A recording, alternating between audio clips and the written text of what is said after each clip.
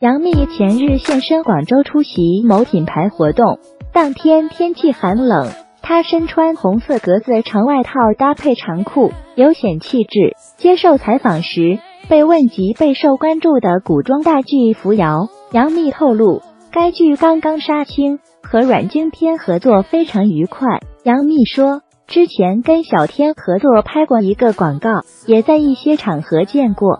这次是真正意义上拍戏，挺开心。他是非常幽默风趣的一个大男生，是健身狂人。他还表示，扶摇和《三生三世十里桃花》有很大区别，观众可以期待。要如何总结二零一七年？